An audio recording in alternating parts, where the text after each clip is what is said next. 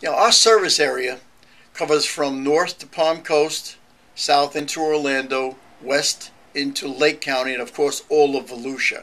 And we've been doing this since 1987, and our reputation is impeccable. And uh, people will will recommend us all the time. We do get a lot of recommendations.